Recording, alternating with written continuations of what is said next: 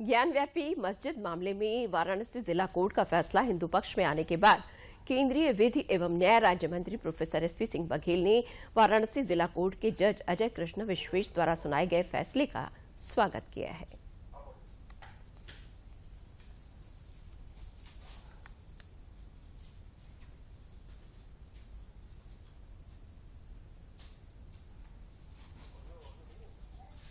देश कानून, संविधान और न्यायिक फैसलों से चलेगा।